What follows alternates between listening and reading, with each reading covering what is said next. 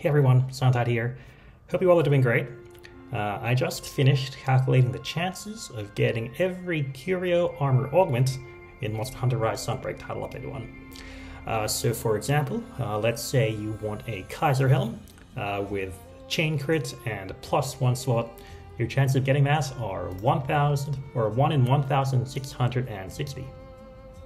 So yeah, uh, that's basically the video. Uh, there are some other interesting things you might notice if you look at this closely. Uh, for example, a really uh, low rarity armor will have about a 1 in 250 chance of getting attack boost, uh, whereas if it's higher, it might take up to 1 in 750 to get attack boost, whereas the rarest armors need like 1 in 1500 to get attack boost. Uh, so yeah, uh, basically how I did this, I relied on someone much smarter. Um, I relied on dtlnor, uh, who does all the data mining for the Monster Hunter games. Uh, and dtlnor basically figured out how all of the armor augments work. Uh, I'll link to the dtlnor spreadsheet, uh, which I'm showing right now in the description. basically, dtlnor also made a what one might call pseudocode. basically, it, it's code that can't really be read by a computer, that can be read by a human, uh, for how the armor augments work. I took the pseudocode code, I turned it to real code. Bam. Um, I'll post this code as well. Uh, and use this code to figure out all the probabilities of getting exactly what you want. Uh, so let's work through an example together. Let's say we have some Archfiend armor, um, for example, the Archfiend feet, uh, and we want to have chain crit, and we want it to have plus one slot uh, because if it has plus one slot, uh, it'll get a four slot piece, which we like.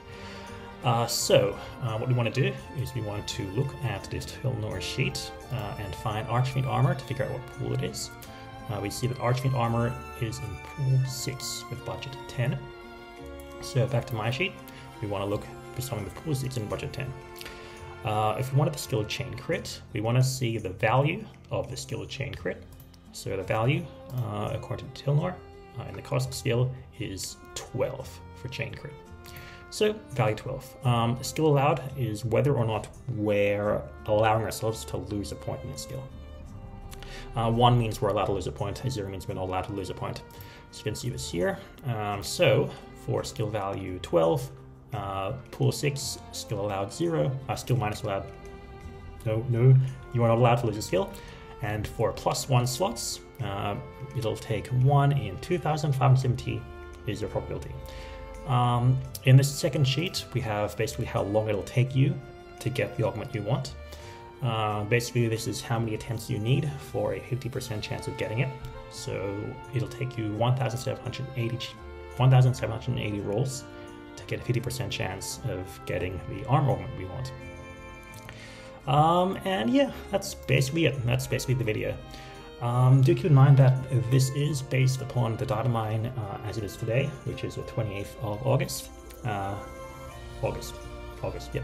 Um, if we do find more information about how this works, um, then of course this will be outdated, but these seem like very good and strong estimates.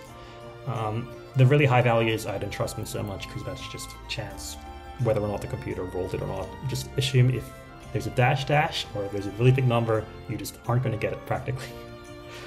um, I would never try to get something with a 1 in, uh, what is this?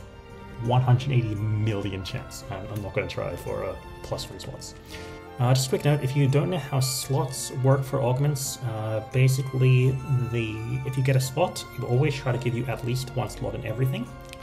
Then after that, it'll fill from left to right to try and get each of them to four. Uh, just as an example, say you start off with like a two slot, a one, a two slot, a one slot, and no slot. Uh, if you get plus one slots, you'll go from the zero slot to a one slot. And if you get one more slot, then it'll just try and make this one uh, up to four, then this one still up to four, and then it'll continue onwards. So then we'll try to make the second one up to four, and then the second one up to four, and so on until they're all four. Uh, just, as, just in case you don't understand. Uh, so this is why I'm saying that like the Archfiend armor legs, uh, because that has 3, 2, 2. Uh, it's going to start from 3, 2, 2. So because they already have a point, it's going to fill up the first one first and get that to 4, 2, 2. And of course the 4 slot is very, very valuable because we can use, for example, a Element Plus or a Quick Sheath Plus or a Longsword user. Uh, one quick note, I am also posting not only this uh, and a Tilnar sheet in the description, but also post a link uh, to a Google Drive folder with my code. Uh, one, it's nice for you to check. Um, two, it's nice that someone else can update it uh, if I'm not around to update it for later stuff whenever we find out more stuff about how this works. And also, finally, because it's legitimately an interesting exercise, uh, like this actually isn't too hard or complicated. Uh, so if you are in high school or in university or you just like the code uh, and want to get better at it, uh, honestly, this is relatively straightforward. Uh, the Tilnor pseudocode is relatively well written, so you can just copy this and try and replicate this in Python or whatever programming language of your choice. So you can try treat my drive link as an example or as an answer. Uh, of course, if you don't know how to use Python, but you are interested in using Python, uh, you can use it as a learning exercise. Uh, you can download Anaconda. I'll put a description to that in the description as well. Uh, you can see my code in Anaconda, and you can learn how it works uh, and start your own code analysis fun stuff. Uh, but yeah, uh, I think that's basically it for this video. Uh, as always, thank you so much for watching. Uh, if you're watching and you haven't subscribed yet, uh, I would really appreciate it if you do. Um, it's just nice, like knowing people are appreciating this content and stuff like that. Uh, but otherwise, I will see you all in the next one, I hope. And yeah, bye.